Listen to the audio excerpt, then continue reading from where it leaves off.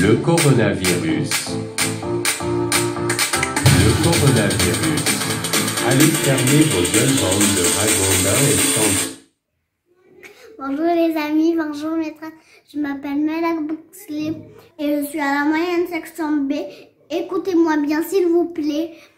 Corona est un virus très dangereux. C'est pour cela qu'on doit rester à la maison et on doit bien se laver les mains et les ongles aussi. Et n'oubliez pas de mettre votre masque avant de sortir. Et n'ayez pas peur parce que Dieu nous protège tous. Merci Dieu. Un maîtresse me manque beaucoup.